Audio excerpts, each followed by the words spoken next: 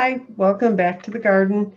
Um, I want to do a special shout out again and a thank you to Dorothy Morgan for coming to visit us yesterday and to, uh, which would have been the 2nd of February, uh, to give us an explanation, kind of a deeper look at different ways to use astrology.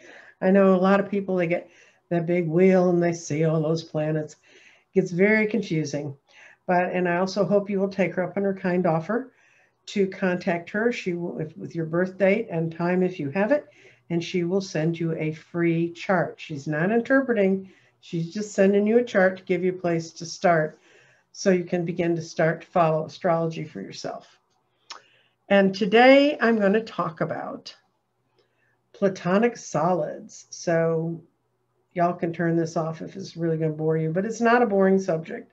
Platonic solids are five shapes that uh, Plato, that's why they're called Platonic solids, he defined as the elemental shapes that existed within nature that were perfect.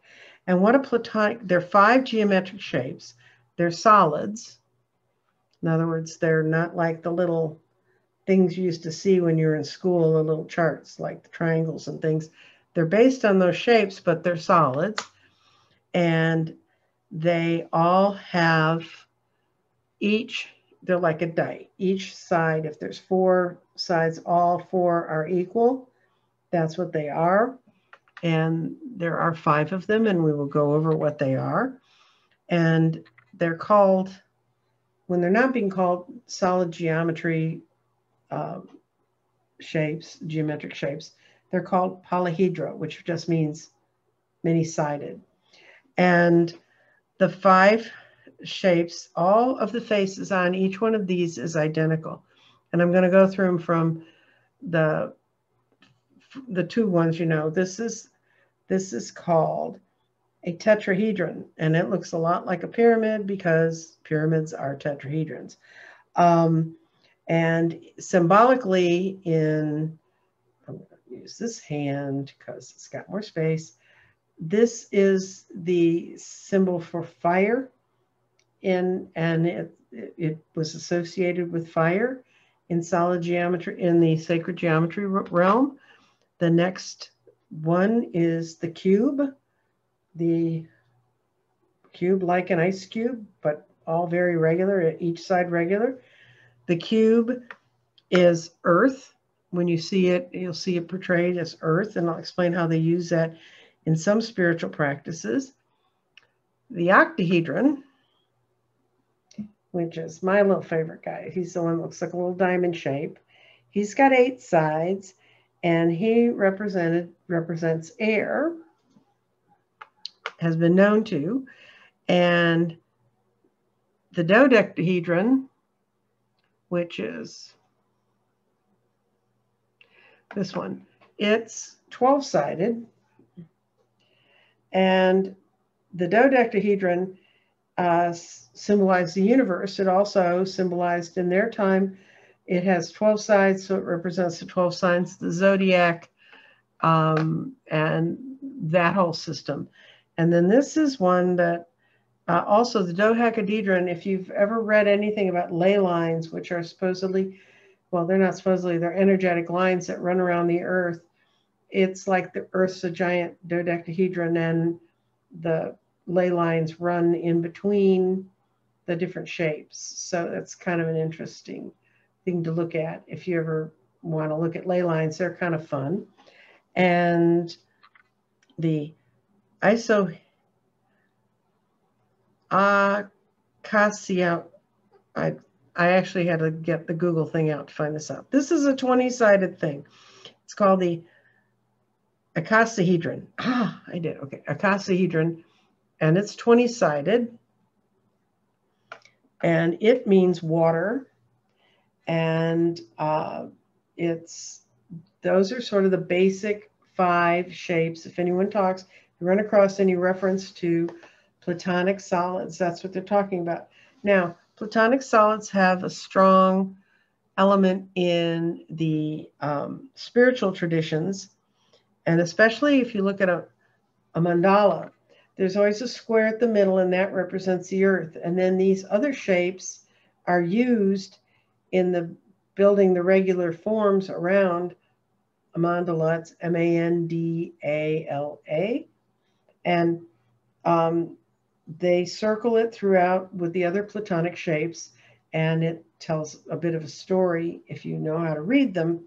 Then in sacred geometry, the, these five shapes are the ones that uh, they're archetypal, original, and universal patterns. They're symmetric and they seek balance. And so it's kind of like compared like you try to find balance in music, you try to find balance in symmetry. And when I build a grid, depending on how I see what's what the energy is around the situation, if the energy is to combine, to have harmony, to bring things together, they'll normally be an even number. And if it's to start something, to initiate something, to move something forward, it will be an odd number. Um, and we just went through all that with the numbers that I just finished doing. Uh, it's, and people say, okay, what about the circle? Well, the way the ancients looked at the globe, the circle, the sphere, is that it was um, the sacred geometry. It was like one of those so blown up that you can't see all the little lines, but they really consider that they're there. That's like I said, on the earth, they say that the ley lines follow the uh, dodecahedron model. Um, and in people say, well, are they on are these shapes in nature? Well, my favorite crystal is a fluorite. This has not been cut. This is how this tumbled out of the mountain, and it's an octahedron.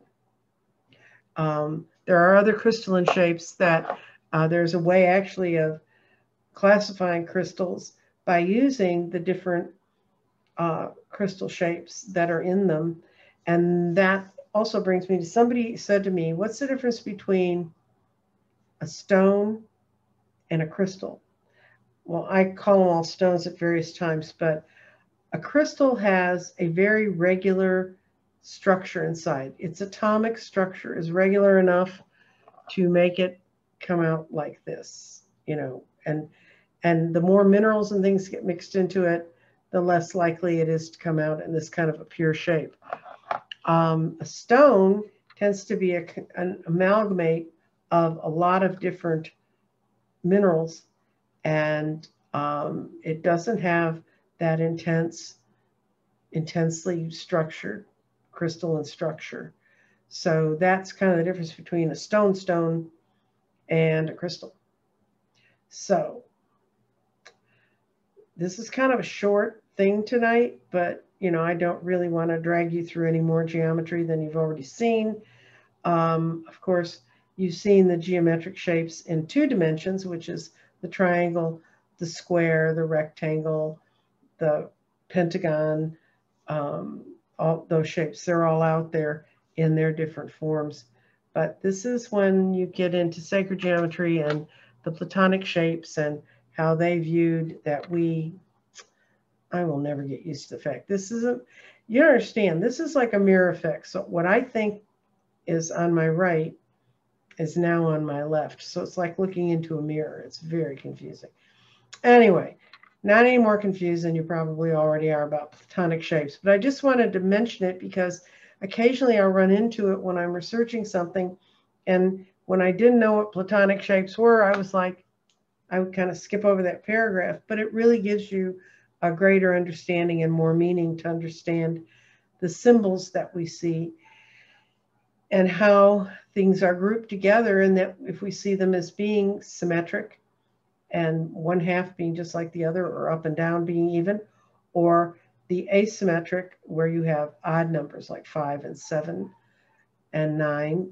A nine can is actually works a little better because it's three triads, but they because they're not symmetric, they kind of make you have to work harder at seeing what's there, or they're moving you forward. They're bringing about change. The even numbered and even sided things tend to deal, give you sense of greater harmony and more stability. So anyway, that's kind of a look at that today. Tomorrow we're going to be looking at desert roses and other sorts of bizarre stones that come out of the desert. I have some fun stuff to show you tomorrow. So anyway, see you then. Once again, I'll like, subscribe, and share. And I will have below how to get in touch with New Hampshire astrologer Dorothy Morgan. And we really, really want to thank her for having come on the show. Thank you so much. Bye.